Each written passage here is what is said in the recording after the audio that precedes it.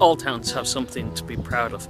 In Andalusia, they are proud of their olives, olive oil, ham, turkey, and also molletes.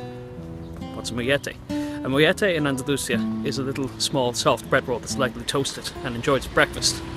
So I'm wondering, a lot of them say, you know, that uh, their mollete is the best here, and uh, they often say, oh, you should try it here, you should try it there. So I'm going to try out. Over the next few days, I'm going to try a different mollete every morning and see what they're like.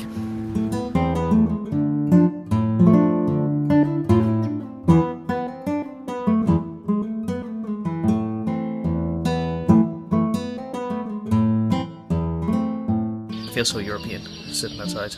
Um, little square, 11 o'clock in the morning, and having a sandwich and a coffee. and so overall impression, um, it's delicious.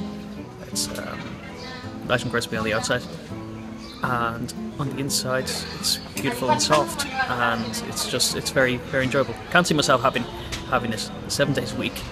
Apparently, some people have it every morning. It's like a ritual, and the other thing is like I'm wondering now like how are the others going to be any different? It kind of it kind of tastes like something that is um, going to taste the same everywhere else.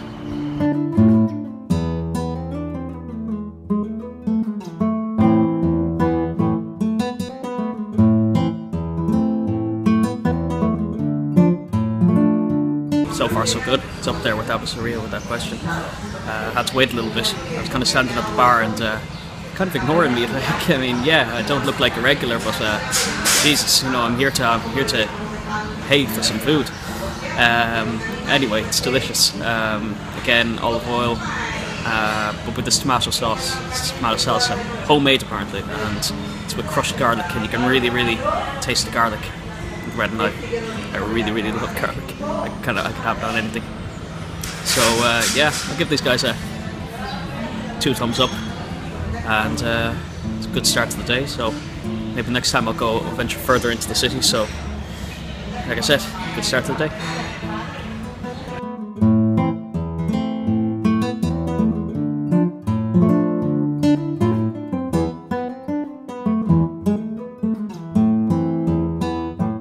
Okay, so that was definitely up there with the others, without question. Beautifully toasted. Um, I've been told that uh, there is a certain window to toast the mollete, and it's just so crispy on the outside, and then you bite into it, and then it's so doughy and fluffy on the inside. Ah, you- you really just have to try it. You know, my description doesn't hardly do it justice. So, tomatoes, ham, and um, oil, olive oil. Um, definitely, definitely up there. So I'm going to put that number two.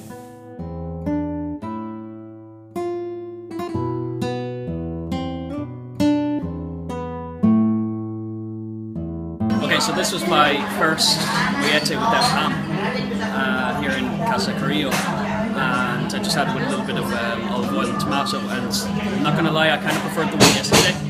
Little bit more garlic in the other ones. uh, overall, it was, it was tasty. Um, but yeah, at the moment, I think Abasseria is, is ahead, and Gloria is number two, and then Carrillo. I'm sorry, you're number three at the moment.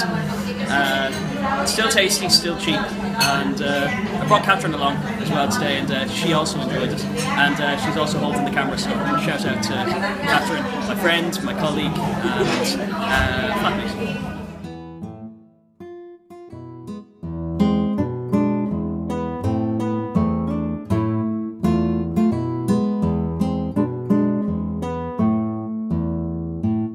So unfortunately the, acoustics in Nacaramon weren't great, so I decided to come up here and it's a little bit windy so I hope um, hope I sound okay.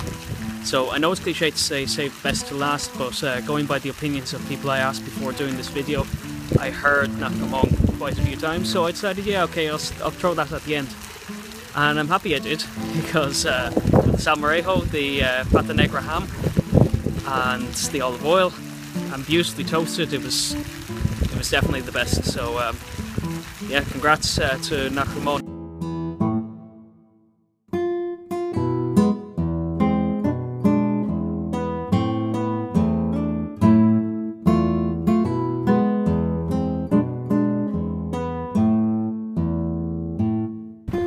So there you have it, guys. I went out in search of my favourite mollete, and I found it.